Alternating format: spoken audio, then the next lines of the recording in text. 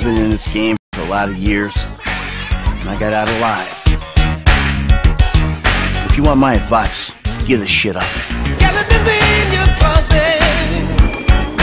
Itching to come outside. The guns and crank in this area go through Trevor Philips Enterprise, or they ain't going.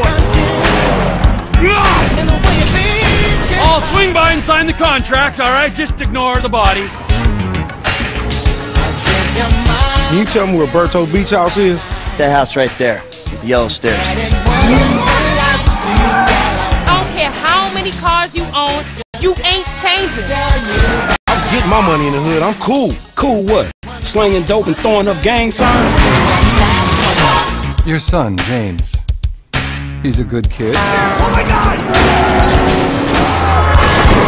Hey, let's bounce. Bounce. We're bouncing now. It's getting ready to go. It's getting ready to show.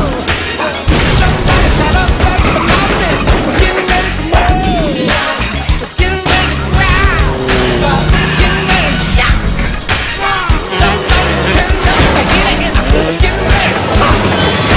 That's Trevor, my best friend. That's Franklin, the son I always wanted. Yeah, whatever. Jesus, your therapist has a lot to answer for.